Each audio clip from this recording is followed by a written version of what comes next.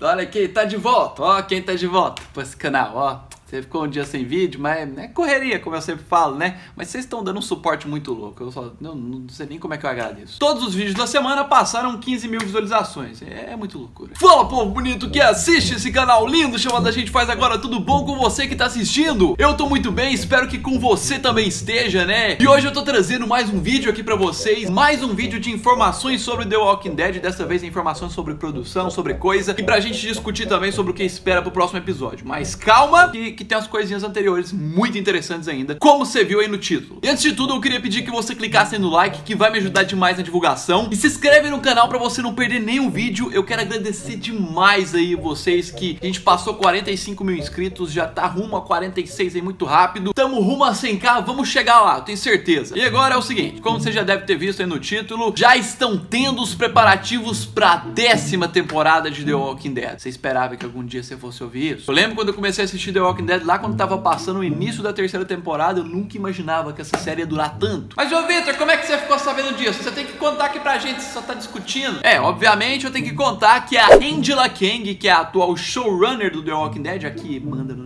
negócio lá, decisões, ela deu uma entrevista pro site, se eu não me engano, Comic Book, e ela falou o seguinte, vamos lá. Já estou trabalhando em coisas para a décima temporada. Sim, estou tentando adiantar um pouco as coisas. Então, depois de fazer essas entrevistas hoje, vou voltar a me reunir com alguns dos meus roteiristas mais experientes e conversaremos sobre algumas coisas, mas só porque eu quero ir adiantando. Basicamente, ela tá falando referente ao dia da entrevista e ela já ia reunir com algum dos roteiristas para poder adiantar coisas, coisa que geralmente eles não fazem tanto. Geralmente eles começam a adiantar alguma coisa lá para janeiro, quando o ano vira. Geralmente a MC confirma que vai ter uma nova temporada em janeiro também. A MC não confirmou oficialmente ainda, mas ela já tá meio que confirmando, porque se ela tá adiantando tudo, é porque vai ter, ela não vai estar tá adiantando à toa. Mas ela continuou. Mas é um processo que não depende somente de nós, porque leva cerca de um ano e meio para fazer uma temporada da série. Isso inclui gravação, roteiro, essas coisas. Mas ela é sempre exibida no mesmo período todos os anos. Então sempre trabalhamos em duas temporadas ao mesmo tempo por uns seis meses. Ela tá explicando aqui porque ao mesmo tempo aí que The Walking Dead já acabou de gravar e ainda vai passar outras coisas, eles já estão trabalhando aí pensando na décima temporada. Então é correria muito louca para eles. Só tem descanso pros atores. Coloque o que vocês esperam de uma décima temporada que eu quero muito saber. Logo eu faço um vídeo respondendo vocês. E antes de eu dar mais informações aqui, eu queria dar uma informação sobre as gravações ainda. Você que achou que eu nunca mais ia falar sobre isso agora, tem uma informaçãozinha de leve que é o seguinte, as gravações acabaram, como eu falei pra vocês, mas o The Spoiling Dead Fans tinha cedido uma informação que eu não tinha passado, de que os últimos dias de gravações se concentraram no estúdio. Ou seja, as últimas cenas aí da temporada foram mais no estúdio, até por isso não saiu muita coisa depois, como eu tinha falado. Isso leva a crer que tem muito dos sussurradores aí nesse negócio. A cena externa, no máximo, pode ser a famosa cena das estacas aí, que eles podem ter gravado num campo aberto, e o resto foi em estúdio. E outra coisa, eu vi gente reclamando nos comentários, falando, ah, os spoilers estão acabando com a série. Eles estão obrigando agora The Walking Dead a gravar nos estúdios, porque senão vaza. E não podia gravar sussurradores no estúdio porque é muito limitado. Eu vou te explicar um negócio. Se a produção do The Walking Dead quisesse, eles gravavam The Walking Dead só dentro do estúdio. Eles não precisavam gravar externo. Tipo, ia ficar meio limitado, eles não iam conseguir tanta locação como eles querem, como eles usam. É, obviamente não ia ficar uma série muito boa. Mas o que eu tô querendo falar é que o estúdio lá, o Rally Studios, justamente que eu já fui lá na porta, ele é um estúdio imenso. Ele é um estúdio de vários galpões e tudo mais. E fora esses galpões, ele tem uma área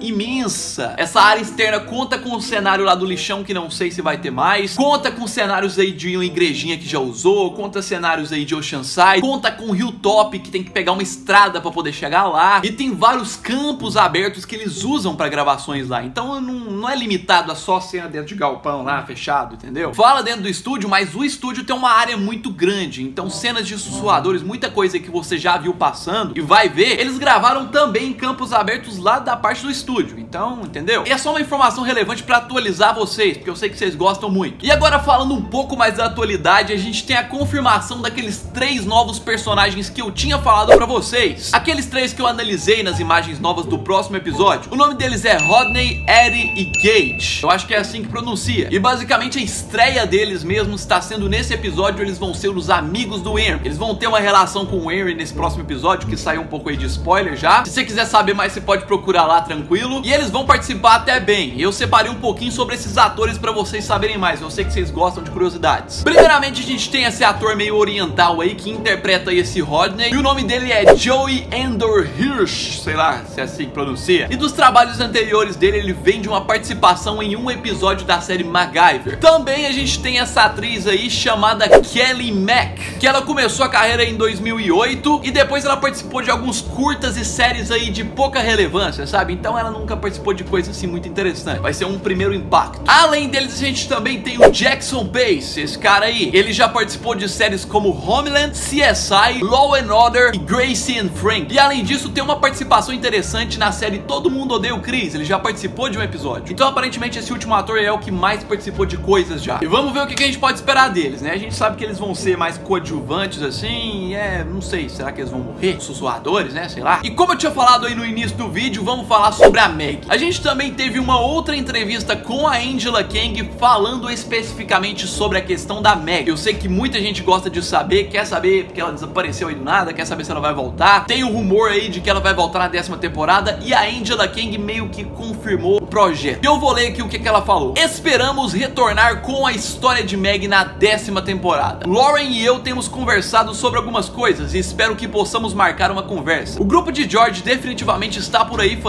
alguma coisa e eu tenho uma cerca noção do que eles pretendem. É mais ou menos, a tradução do inglês é difícil. Eles poderiam ser inclusive parte do universo geral, isso fica a critério do Scott Gimple, mas vamos ver no que vai dar. Nessa primeira parte da entrevista deu para perceber que apesar dela ser a nova showrunner, tá no controle, a gente continua nas mãos de Scott Gimple, ainda que muita gente reclama. Só que já que ele não tá interferindo tão diretamente, pelo menos aí tá vendo que tá melhorando, né? Mas deu para entender aí por essa entrevista que ela tem uma noção mais que ela tem que consultar o Scott Gimple, que a decisão assim mais importante é ele que dá assim, ó, canetada, fala assim, ó, vai ser assim. Ela muito provavelmente pensa, escreve, faz roteiro e tudo mais, mas o Scott Gimple, quando ele quer interferir em alguma coisa aí, ele pode, ele que define se vai ser assim. Tem que passar pelo veredito final, tá? Quando o negócio, uma lei passa na Câmara e aí o presidente tem que vetar ou aprovar e tudo mais. É quase isso aí. Eu espero que o Scott Gimple não faça nenhuma cagada e deixe a Angela Kang planejar do jeito que ela quer, porque ela tem planejado muito bem. Você pode ver pelo resultado dessa primeira parte. E pelo que ela falou também, o grupo da George, esse grupo aí tão falado, pode ser que ele entre no universo e faça parte. Então a gente pode ver mais deles. Podem ter novíssimos atores, muita coisa aí para uma décima temporada, mas a gente tem que esperar, só especulação. Além disso, ela também falou o seguinte: o Scott Gimple verifica todas as partes desse universo e se certifica de que nada entre em conflito entre si. Por exemplo, ano passado ele disse que escreveria o que teria que acontecer com Rick e que ele precisava sair no helicóptero. É engraçado, pois na série nós frequentemente seguimos por múltiplos caminhos antes de decidirmos alguma coisa, mas eu estou trabalhando com a ideia de que teremos a Lauren de volta. E com esse trechinho de entrevista aí deu para perceber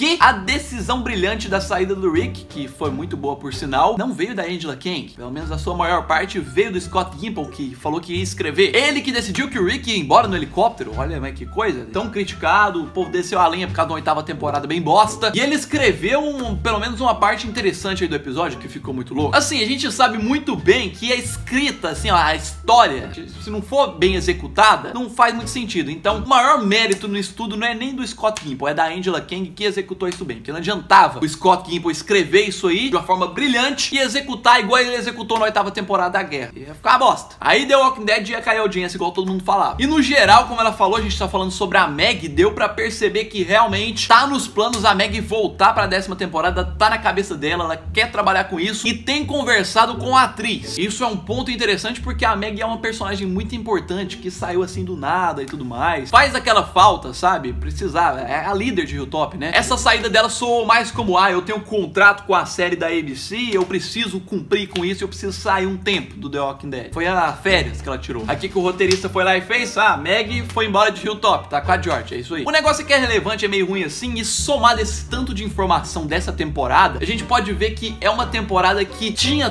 tudo para ser uma temporada muito assim complicada, que fosse acabar com The Walking Dead, porque saída do Rick para sempre em teoria, saída da Meg, coisas assim, muita morte assim, relevante e eles conseguiram construir uma temporada que tá muito boa, entendeu? Para alguns não tá a melhor temporada de todas, é obviamente porque não é muito complicado. Você pode perceber os desafios que eles estão precisando de enfrentar. A decisão de sair o Rick e sair a Meg não veio de parte da MC, eles que escolheram e tudo mais. A decisão veio por parte dos atores. Então eles tiveram que se contentar com isso e construir a partir disso uma nova história, criar um universo e fazer roteiros e coisas que o público aceite. Então isso tá muito bom. Eu fiquei sabendo que no último episódio, o 7, porque foi mais fraco, a audiência caiu, foi mais ruim mesmo. Mais ruim não funciona, né? Foi pior. Mas mesmo assim, você pode ter certeza que ela vai voltar um pouco agora ou ela vai manter. Mesmo ela continuando assim, The Walking Dead continua como a série mais assistida nos domingos nos Estados Unidos. Sussurradores vão ser implantados nesse próximo episódio de uma forma assim que eu tô ficando assim preocupado que vai ficar pesado de assistir, sabe? Preocupado no sentido assim de que vai ser bom, sabe? Mas vai ser suspense, sabe assim?